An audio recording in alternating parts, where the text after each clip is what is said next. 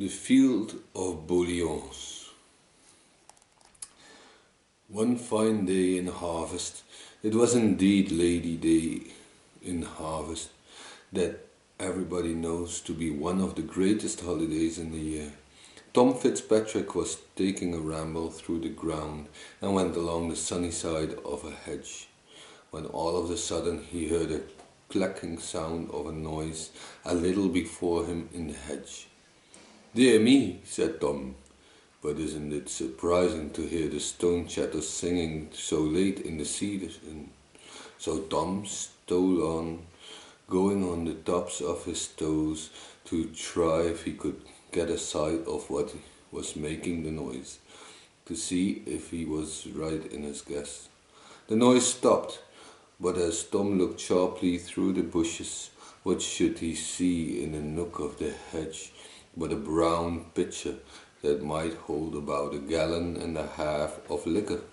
And by and by a little wee tiny bit of an old man with a little motty of a cocked hat stuck upon the top of his head, a deeshy dorsey leather apron hanging before him, pulled out a little wooden stool and stood up upon it and dipped a little piggin into the pitcher and took out the full of it and put it beside the stool and then sat down under the pitcher and began to work at putting a heel piece on a bit of brogue just fit for himself.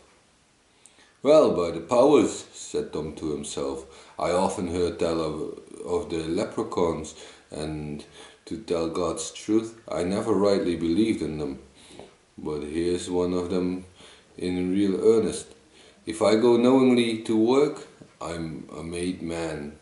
They say a body must never take their eyes off them or they'll escape.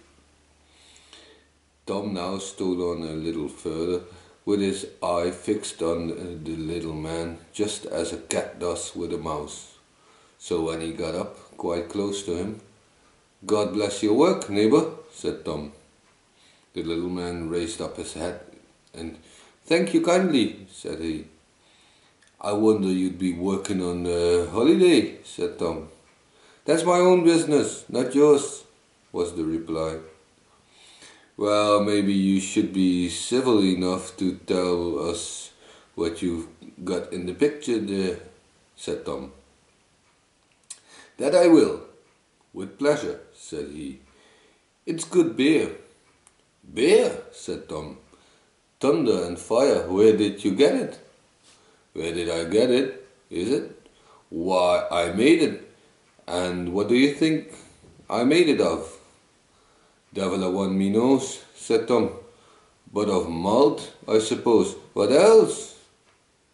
Then you're out. I made it of heath. Of heath? said Tom, bursting out laughing. Sure you don't think me to be such a fool as to believe that. Do as you please, said he. But what I tell you is the truth. Did you never hear tell of the Danes? Well, what about them? said Tom.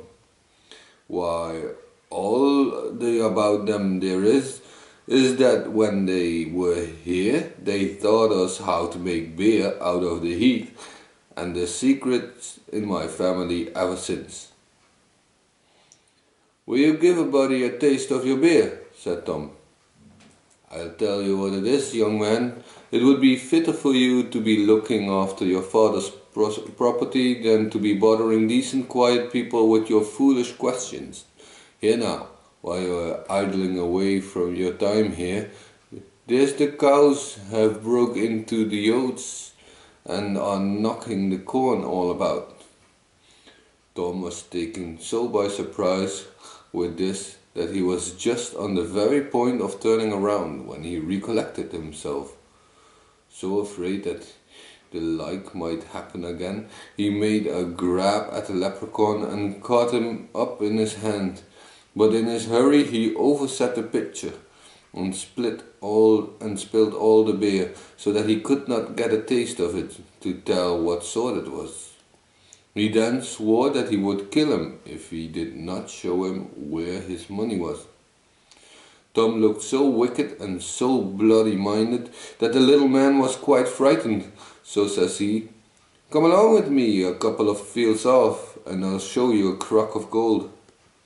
So they went, and Tom held the leprechaun fast in his hand, and never took his eyes from him, though they had to cross hedges and ditches and a crooked bit of bog, till at last they came to a great field all full of boliauns, and the leprechaun pointed to his big to a big boliaun, and says he, Dig under that boliaun, and there you'll get the great crock all full of guineas.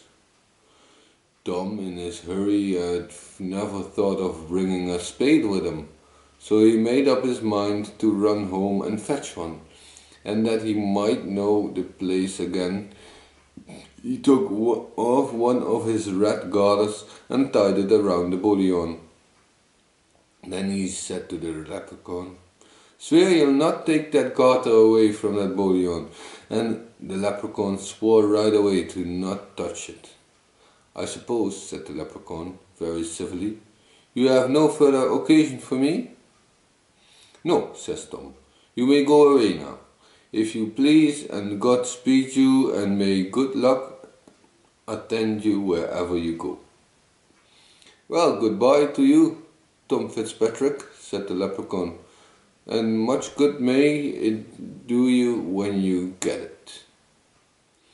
So Tom ran for dear life till he came home and got a spade and then away with him as hard as he could go back to the field of boliauns. But when he got there, lo and behold, not a boliaun in the field but had a red garter, the very model of his own, tied about it and as so digging as to digging up the whole field that was all nonsense for there were more than forty good Irish acres in it.